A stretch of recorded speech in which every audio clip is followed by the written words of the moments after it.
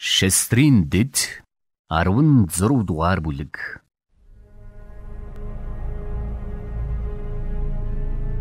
Асигийн хаанчлалын 36 дахь жилд Израилийн хаан Бааша Иудаг довтлон ирж Иудагийн хаан Асагийн газар руу хэн боловч орж гарахааргүй болохоор Рамад бэглэлт босгов.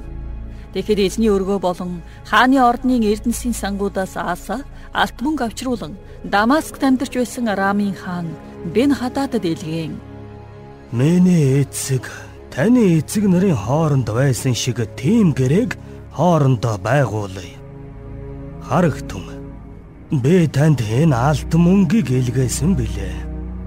Израилийн хаан Баашатай тогтоосон гэрээгээ цуцлан түүнийг надаас холдуулахад туслаач гэж уламжлуулв.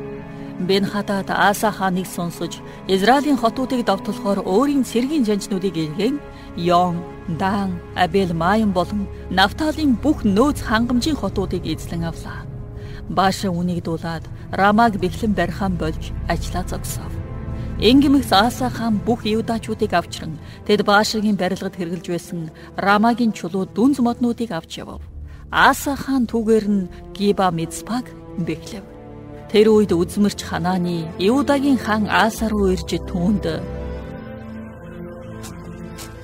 Чи өөрийн бурхан эзэнд найдалгүй Арамын хаанд найдсан учраас Арамын хааны цэргүүд чиний гараас нэгэнт молторчээ. Этиопчууд, ловчууд асар олон тэрэг мордтой агуу том цэрэг байгаагүй гэж юу? Хэдий тийм байсан ч чи эзэнт найдсан учраас тэрээр дайсныг чинь чиний гарт оруулсан юм. Учир нь өөрт нь бүрэн зориулсан зүрх сэтгэлтэй хүмүүст хүчтэй дэмжлэг болохоор эзний мэлми дэлхий даяар хойш урагшаа хэрэн юм. Чи энэ удаа мөн хог үйл хийлээ. Үннээр одооноос эхлэн чи ямагт дайн тулаантай байх болно. гэж хэлв. Ааса үзмэрчд уурлан түүнийг шоронд хорив. Учир нь энэ явдлаас болж тэрээр түүнд хэлгэнсэн билээ. Мөн Ааса яг тэр үед зарим хүмүүсийг хавчив. Аасагийн үс эхнийхээс сүүлийн хүртэл харагтун. Израиль болон Иудагийн хаатын номд тэмдэглэгдсэн билээ. Хаанчлалынхаа 39 дэх жилд Ааса хөлдөө өвчтэй болжээ.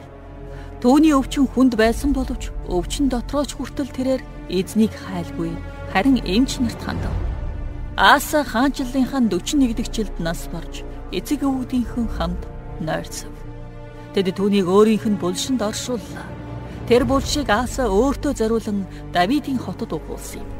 Тэд түүнийг сүрчиг хийгчдийн жороор найруулсан төрөл бүрийн үнэртэнгүүдээр дүүрэлсэн амралтын газар хэвтүүлээд түүнд зориулан асар том гал асаажээ.